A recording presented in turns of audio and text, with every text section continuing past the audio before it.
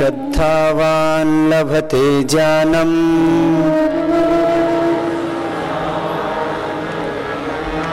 तत्परः संयतेन्द्रियाः। ज्ञानं लब्ध्वा परं शान्तिम्। अचिरेणाधिगच्छति नहि ज्ञानेन सदृशम्। पवित्रम् इह विद्यते। तत्स्वयं योगसंसिद्धाः। कालेन आत्मनि विन्दति ब्रह्मणि आधाय कर्माणि सङ्गं त्यक्त्वा करोति यः। लिप्यते न स पापेन।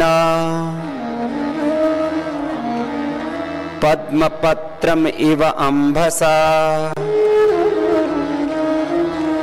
योगस्थः कुरु कर्माणि। सङ्गं त्यक्त्वा धनञ्जय सिद्ध्यसिद्ध्यो समो भूत्वा समत्वं योग उच्यते। अनाश्रितः कर्मफलम्। कार्यं कर्म करोति यः।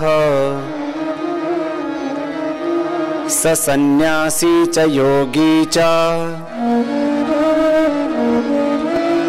निरग्नि न चाक्रियाः।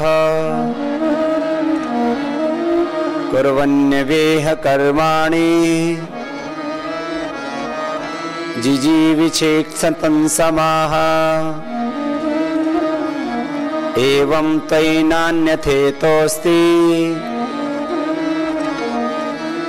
कर्म लिप्यते नरे। ॐ ब्रह्म एव इदम्। अमृतं पुरस्तात्। ब्रह्म पश्चात्। ब्रह्म दक्षिणतश्च। उत्तरेण अधश्च। ऊर्ध्वं च प्रसृतं ब्रह्मेव। इदं विश्वम् इदं वरिष्ठं सर्वं खलु। इदं ब्रह्म। ॐ खं ब्रह्म। ॐ क्रतोस्मर ॐ इति काक्षरं ब्रह्म। ॐ प्रतिष्ठा शान्ति शान्तिः ॐ शान्ति शान्ति भारत की पूरे विश्व में पहचान योग विद्या से, अध्यात्म विद्या से है। पूरे विश्व को जीवन के अंतिम सत्य का प्रकाश, परम सत्य का प्रकाश, शाश्वत सत्य का प्रकाश भारत भूमि से ही हुआ है। किसी भी देश का नाम जब हमारे सामने आता है तो उसकी कोई सबसे बड़ी विशेषता हमारे सामने उभर करके आती है। जैसे अमेरिका का नाम आएगा।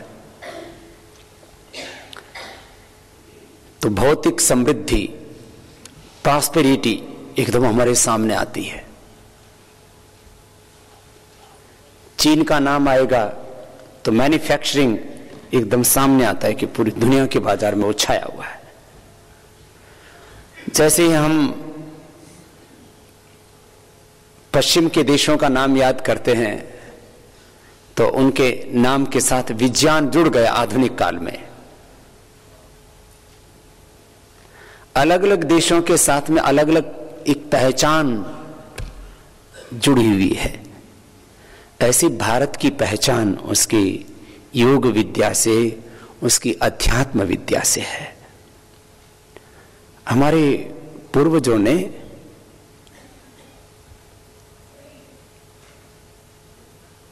हमारे वैयक्तिक, पारिवारिक और सामाजिक जीवन से लेकर के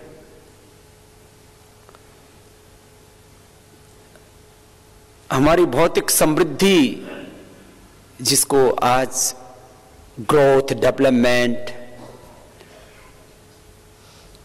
प्रॉस्पेरिटी के नाम से जाना जाता है। उस हमारे अभ्युदय से लेकर के निश्रेयस तक की बात की। और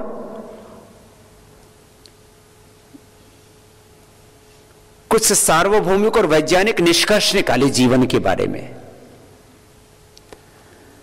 आज भी पूरे विश्व में हमारे वैयक्तिक, पारिवारिक, सामाजिक, राष्ट्रीय और वैश्विक जीवन के संदर्भ में शोध हो रहे हैं। और फिर जीवन से जुड़े हुए प्रत्येक पहलू के संदर्भ में भी शोध हो रहे हैं। हमारे पूर्वजों ने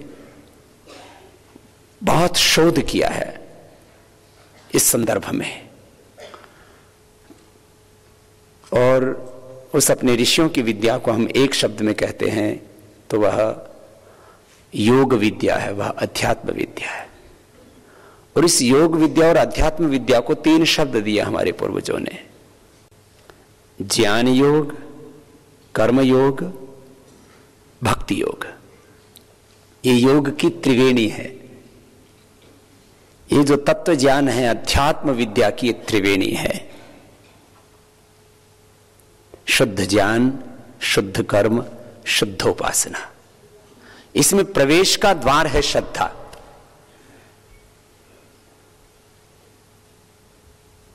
इसलिए अनेक महापुरुषों ने और हमारे आध्यात्मिक गुरु पूज्य स्वामी सोमानंद जी महाराज जी ने भी इस बात को कहा कि आध्यात्मिक जीवन में श्रद्धा माँ की भूमिका निभाती है।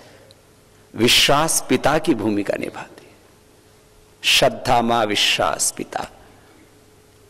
और प्रभु की भक्ति, स्तुति, प्रार्थना, उपासना, ये आध्यात्मिक जीवन का अभिषेक तत्व है। श्रद्धा के बिना यहाँ प्रवेश ही नहीं है। इसलिए मैंने प्रथम ही गीता का शौक उच्चारण किया, श्रद्धावान लभते ज्ञानम, तत्पर संयतेन्द्रिय। ज्ञानम लब्ध्वा पराम शांतिम अचेर्णाधिगछति नहीं जाने न सदृशम पवित्र यह विद्यते। हमारे जीवन में जितना भी दुख है, जितनी भी दरिद्रता है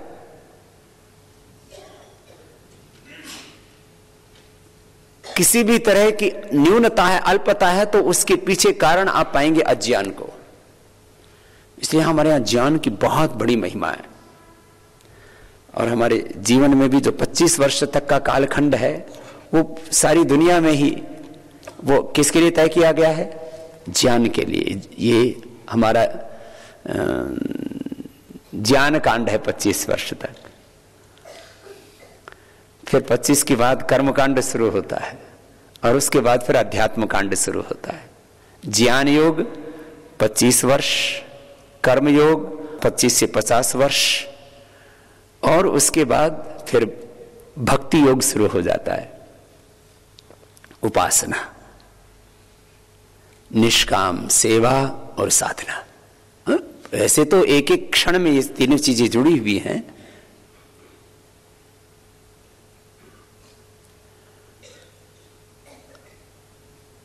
तो हम तीनों बातों को ठीक ठीक समझें। ज्ञान की क्या भूमिका है, कर्म की क्या भूमिका है, और उपासना की क्या भूमिका और आवश्यकता है। ज्ञान एक बहुत व्यापक शब्द है, मानी, जिससे हम सृष्टि के एक एक परमाणु से लेकर के पूरे अस्तित्व को ठीक ठीक समझें, वो ज्ञान है। ज्ञान मतलब मात्र कुछ चंद जानकारियाँ नहीं है किसी कृषि के संदर्भ में, व्यापार के संबंध में, उद्योग के संबंध में, या कोई तकनीकी के संबंध में, या इतिहास के संबंध में, आजकल ज्ञान के इतने डिविजन्स बना दिए हैं ना हमने।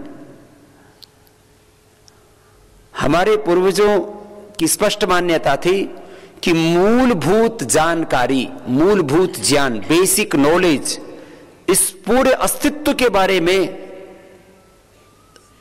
बेसिक नॉलेज सबको होना ही चाहिए। उसके बाद स्पेशलाइजेशन में जाओ।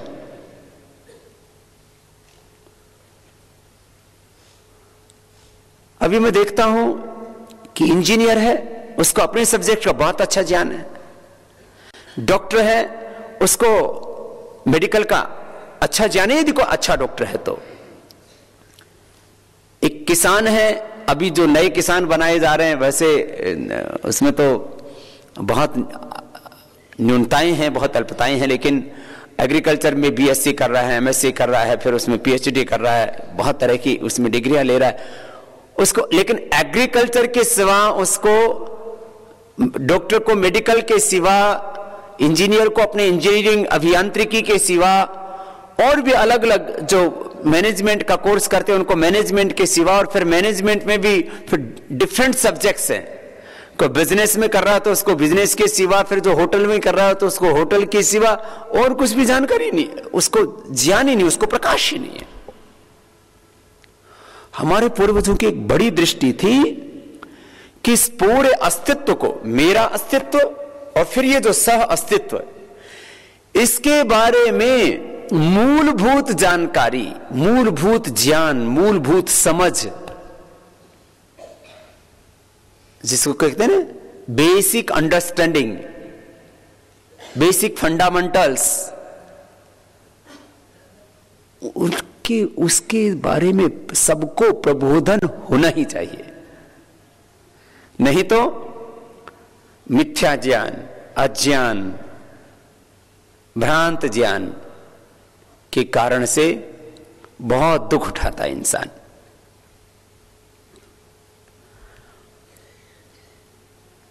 मैंने देखा, साधारण लोगों से लेकर के और जिनको बोला जाता है बहुत ताकतवर लोग हैं, बहुत समृद्ध लोग हैं। उनको पूछो कि भाई, आपको अपने बारे में कुछ समझ है? तो बोले, अपने बारे में क्या समझ है? खाओ, पियो, मौज करो। ये अपने बारे में समझ है। इस अस्तित्व के बारे में क्या समझ है? बोले, खूब मेहनत करो और जितना आधिपत्य जमा सकते हो, उतना अपना साम्राज्य कायम करो। ये उसके अस्तित्व के बारे में समझ है।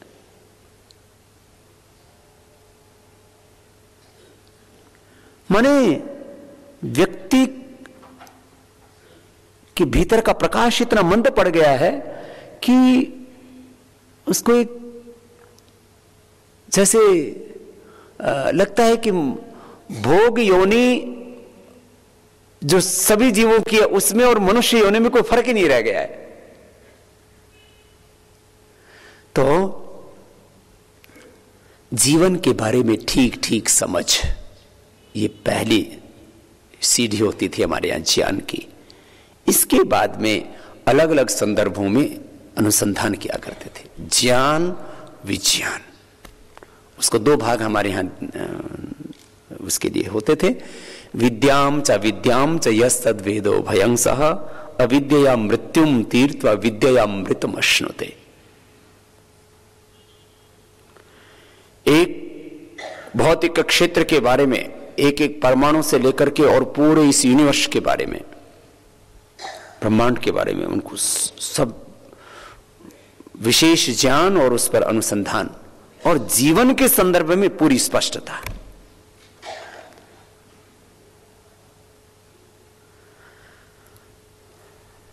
तो हम भी अपने जीवन में स्पष्ट रहें। कोई हम किसी भी संदर्भ में हमारे मन में कोई भ्रांति नहीं रहनी चाहिए। हमारा वैयक्तिक जीवन, पारिवारिक जीवन, सामाजिक जीवन, आर्थिक जीवन, राजनीतिक जीवन, आध्यात्मिक जीवन और पूरा वैश्विक जीवन, इस पूरे अस्तित्व के बारे में। वैसे तो पूरे अस्तित्व में तीन ही चीज़ें हैं। एक मैं, जिसको हम आत्मा कहते हैं, और ये पूरा अस्तित्व जो मैं, मनुष्य या जो भी मनुष्यतर, जो भी अस्तित्व है, उसके बारे में हमें ठीक ठीक समझ हो। और मेरे अलावा, और ये जो मेरे चारों तरफ़ जो अस्तित्व है, प्रकृति के रूप में, जिसमें ज़्यादा लोगों को विकृति दिखाई देती है भगवान का विधान है, भगवान का विधान में तो कुछ अशुभ हो ही नहीं सकता। मैंने बार बार इस बात को कहा है ना, प्रकृति में विकृति नहीं है। ये प्रकृति तो प्रभु की प्रकृति प्रमन उत्कृष्ट कृति। ये प्रकृति में सुकृति देखो, भगवान की उत्कृष्ट कृति के रूप में देखो। और मेरे और इस पूरे अस्तित्व के अलावा एक और अदृश्य सत्ता है। उसके संदर्भ में मैं बार बार कहता हूँ, ये लोग कहते हैं हमें भगवान का दर्शन कराओ, भगवान का प्रत्यक्ष कराओ, उसका साक्षात्कार कराओ। अरे, सारे ब्रह्मांड में ब्रह्म का ही तो प्रत्यक्ष दर्शन हो रहा है। सारी सृष्टि में उस ब्रह्म का ही तो प्रत्यक्ष दर्शन हो रहा है। सारी सृष्टि में उस सृष्टा का ही तो प्रत्यक्ष दर्शन हो रहा है, सारे ब्रह्मांड में उस ब्रह्म का ही तो प्रत्यक्ष दर्शन हो रहा है। सारी रचना में उसी रचयिता का तो प्रत्यक्ष दर्शन हो रहा है, सारे मूर्त में उसी अमूर्त का, सारे दृश्य में उसी अदृश्य का तो प्रत्यक्ष दर्शन हो रहा है। सबके मूल में वही तो है। जितने भी संबंध है, जितनी भी संपत्ति, जितने भी सुख हैं, जितने भी ऐश्वर्य हैं, जितने भी कार्य हैं, उनके मूल में तो वही एक है। ये इतनी गहरी समझ यदि नहीं होगी, इतनी सामान्य समझ नहीं होगी तो फिर जीवन को हम ठीक ठीक जी नहीं पाते। इसलिए अब भौतिक विकास के शिखर पर पहुँच करके भी, माने जिसको सत्ता, संपत्ति, संसाधन और इंद्रिय सुख कहते हैं, इसको पाकर के भी अब वापस सब लोग अध्यात्म की तरफ़ लौट रहे हैं। ये तो निष्कर्ष हमारे पूर्वजों ने हज़ारों, लाखों, करोड़ों वर्ष पहले ही निकाल दिया था। वेदों में तेन तत्न भुंजी था कह करके, और उपनिषदों में न वित्तेन तर्पणियों मनुष्य कह करके, और सारे हमारे नीति ग्रंथों में, स्मृतियों में, न जातो काम कामा नाम भोगे नो प्रशाम्यते हविषा कृष्ण वर्त में भूये वापी वर्धते। यद पृथिव्याम ब्रीही यवम हनन्यम पसवास्त्रिय एकास्यापन पर्याप्तम तस्मा तृष्णम परित्यजेत। महात्मा गांधी जी भी इस बात को बहुत कहा करते थे कि सारी दुनिया के संसाधन, सारी दुनिया की संपत्ति, ऐश्वर्य, सत्ता, सारे भौतिक सुख एक व्यक्ति को भी दे दिए जाए तो उसको भी तृप्ति नहीं हो सकती। आज भी इस धरती पर करीब 700 करोड़ लोग हैं। जो इस धरती पर मनुष्यों के जीवन के लिए नितांत आवश्यक है उसका आकलन किया जाए तो 700 नहीं, इस पर 1400 1500 करोड़ लोग बहुत सुखपूर्वक जीवन को जी सकते हैं। लेकिन इस 700 करोड़ में आधे लोग तो भूख और कुपोषण के शिकार है। उनके जीवन में अभाव है। वो अन्याय के शिकार हैं, शोषण के शिकार हैं। इंजस्टिस है पावर्टी है हंगर एंड मेडिटेशन है। ये सब क्या चल रहा है? फिर इसी के लिए पूरे युद्ध चल रहे हैं। तो मैं कह रहा था, जीवन की ठीक ठीक समझ। एक बात तो मैंने देखी, सबसे पहले व्यक्ति जो है ना, जैसे ही थोड़ा सा बड़ा होता है तो सोचता है, मेरे पास सबसे ज़्यादा संसाधन होने चाहिए, संपत्ति होनी चाहिए, ऐश्वर्य होना चाहिए। मेरे पास बहुत बड़ा साम्राज्य होना चाहिए। इसका विरोध नहीं है, लेकिन किसके लिए? मेरे भोग के लिए। यहाँ विरोध है। हमारे यहाँ कहा, खूब पुरुषार्थ करो, इतना पुरुषार्थ करो कि तुम एक लोक पर नहीं, तुम तीनों लोकों पर विजय पा सको। अहम इंद्रो न पराजिज्ञ, कृतम में दक्षिणे हस्ते, जयो में सभ्य आहित। अग्नि अस्मि जन्मना जात वेदा, घृतम में चक्ष अमृतम आसन अर्क स्थिधात रज स्वयमान अजस्रो गर्म हविरस्म नाम।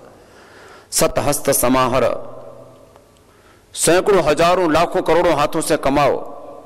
ये आपको यहाँ से दिया भी जा रहा है। सत हस्त समाहर शस्त्र हस्त संकिर। ऐसे ये बताया गया हमारे लेकिन क्या कहा गया?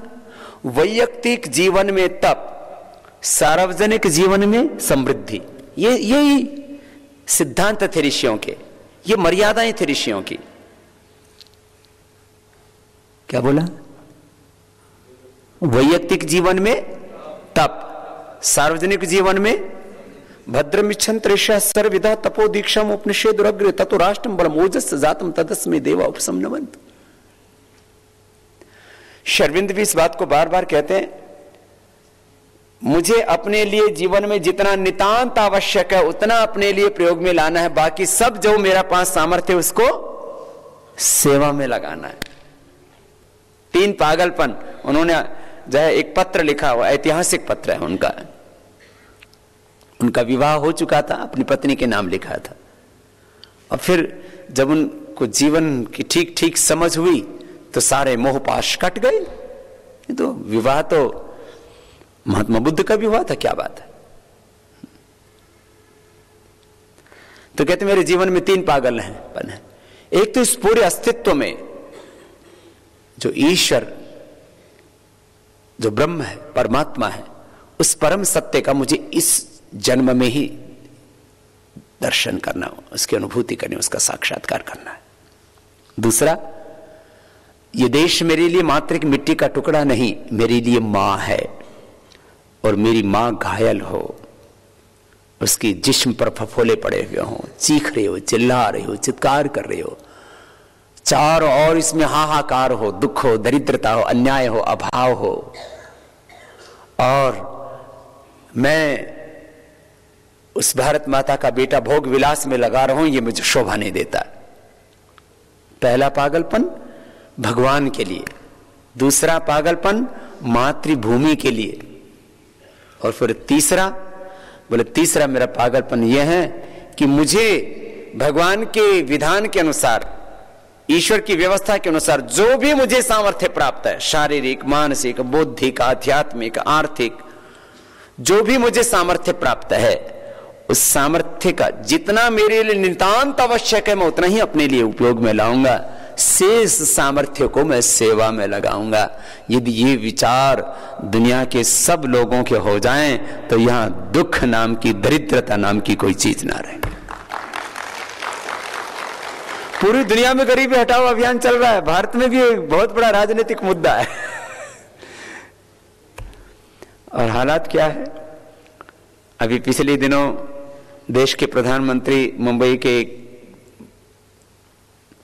five star seven star hospital के उद्घाटन में गए।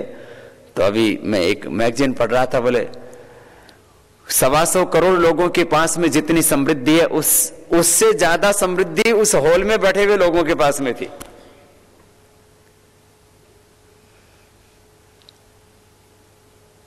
मैंने एक तरफ़ सवा सौ करोड़ लोग और एक तरफ़ सवा सौ लोग, उनके पास में इतनी समृद्धि। मान भौतिक संसाधन, स्वामित्व। हमारे यहाँ तो स्वामी अपने आप को कभी माना ही नहीं किसी ने। हम तो मानते हैं ईशावास मिदम सर्वम यत किंच जगत्याम जगत। भगवान ही स्वामी है। त्याग पूर्वक, विवेक पूर्वक जितना आवश्यक हो, प्रकृति माँ की तरह है। माँ का दूध पीने का तो हमें अधिकार है, खून पीने का नहीं और रजिस्ट्री आदि कराने की हमारे यहाँ परंपरा ही नहीं थी।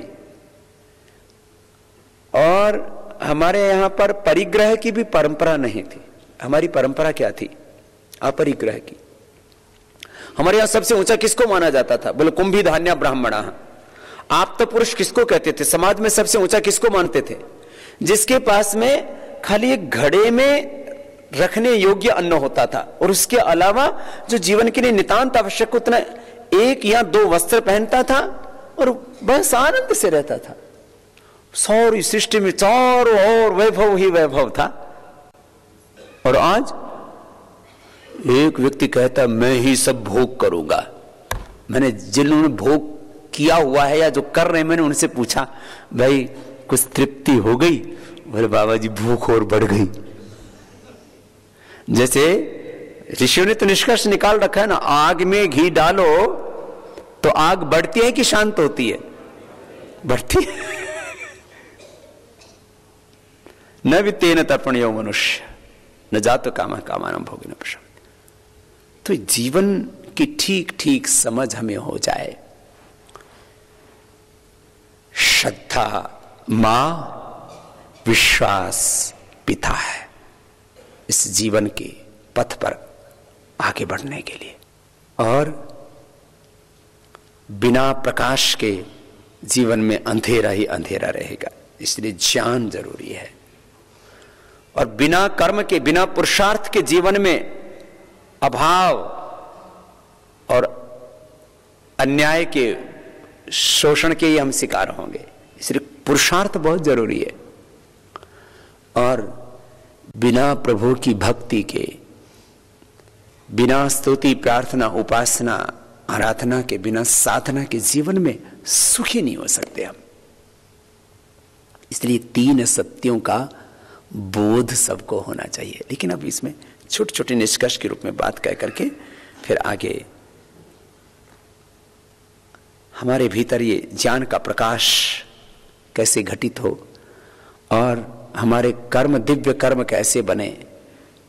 कर्म कहो, प्रवृत्ति कहो, पुरुषार्थ कहो, तप कहो या सेवा कहो, एक ही बात है।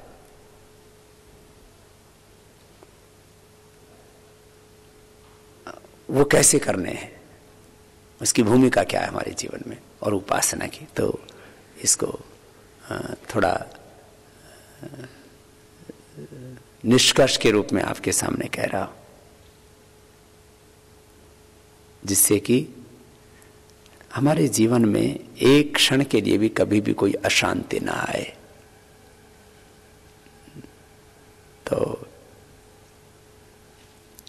इसके बाद फिर आपका कोई प्रश्न होगा तो उसका उत्तर भी देंगे।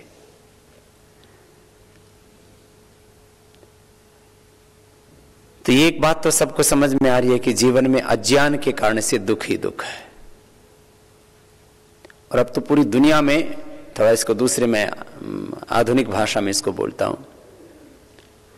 जितना भी पूरी दुनिया में विकास हो रहा है ना, अब इसको भी नाम के, क्या दिया जा रहा है? नॉलेज बेस्ड डेवलपमेंट डेवलपमेंट को भी अब ज्ञान के साथ ही जोड़ रहे हैं, पूरी दुनिया में। और सब पूरी दुनिया के जितने भी बड़े लोग हैं, या इस शताब्दी में जिनको लोग आइकॉन कह रहे हैं, कि ये इस शताब्दी के आइकॉन हैं डिफरेंट फील्ड्स के, वो सब कह रहे हैं कि अब भविष्य में समृद्धि के आधार, बौद्धिक संपदाओं के आधार पर खड़े होंगे। बौद्धिक संपदाओं के आधार पर ही भविष्य की समृद्धि तय होगी। नॉलेज बेस्ड डेवलपमेंट और वैसे भी अभी तो कहा ही जाता है माइंड इज़ मनी दुनिया में आज भी सबसे धनवान व्यक्ति वही हैं जिनके पास ज्ञान है, माइंड है, नॉलेज है।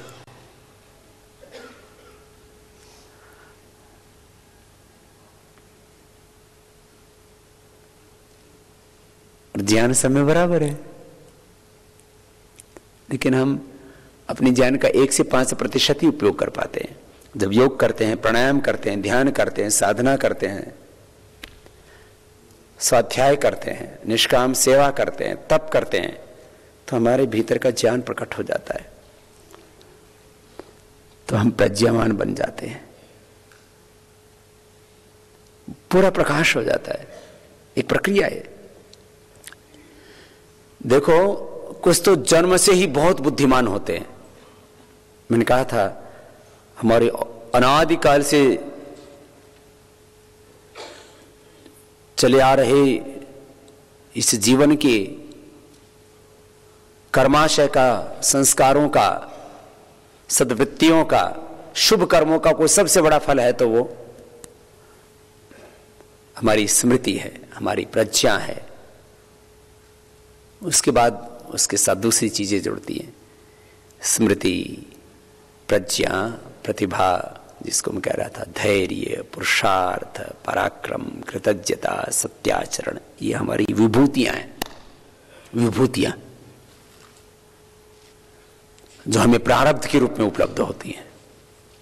तो खैर, कुछ जन्म से ही बहुत प्रज्ञावान होते हैं।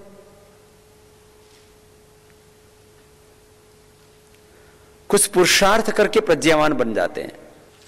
योग से हमें दिव्य ज्ञान की उपलब्धि होती है अतीन्द्रिय ज्ञान की उपलब्धि होती है। ये योग का बहुत बड़ा फल है। व्यवहारिक जीवन में जिसको हम निष्काम कर्म बोलते हैं, निष्काम प्रवृत्ति, निष्काम पुरुषार्थ, निष्काम तप या सेवा बोलते हैं, और साधना काल में जिसको हम ध्यान समाधि कहते हैं, उपासना कहते हैं, प्रभु की भक्ति कहते हैं उससे हमारी बुद्धि परिष्कृत हो जाती है। ये ज्ञान को बढ़ाने के उपाय बता रहा हूँ और इनकी भूमिका भी थोड़ी थोड़ी बता करके फिर आपकी बड़ी भूमिका आज कहूँगा।